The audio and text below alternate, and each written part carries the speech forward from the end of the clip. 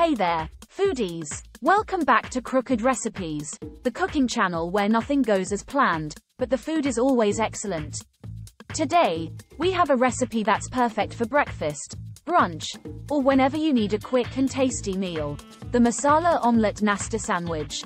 And the best part, this recipe was created by an AI.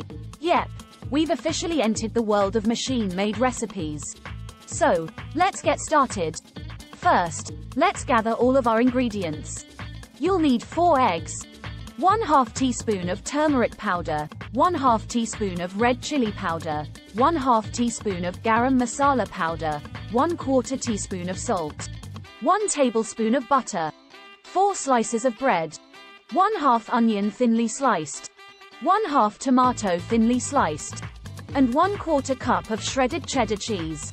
Now, in a bowl, beat the eggs together with turmeric powder, red chili powder, garam masala powder, and salt. Don't be shy with the spices, guys. This is the masala omelette sandwich after all. Mix it up until it's a beautiful yellow color. Next, melt the butter in a non-stick pan over medium heat. Add the egg mixture and cook until set, about 5 minutes.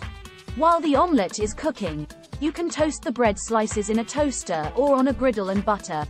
Once the omelette is set, flip it over and add the sliced onions, tomatoes, and shredded cheddar cheese on top. Cook for another 2 to 3 minutes until the cheese is melted. And voila, you have a delicious and nutritious masala omelette ready to be sandwiched. To assemble the sandwich, place half the omelette on one slice of toasted bread and top it with the other slice. Repeat to make two sandwiches. Cut the sandwich in half and serve hot. And there you have it, folks. Our very own masala omelette nasta sandwich, created by AI and cooked by you. Leave a comment on the video and tell us how it went. We can't wait to hear what you come up with. Thanks for tuning in. Remember to subscribe and we'll see you next time on Crooked Recipes. Happy cooking!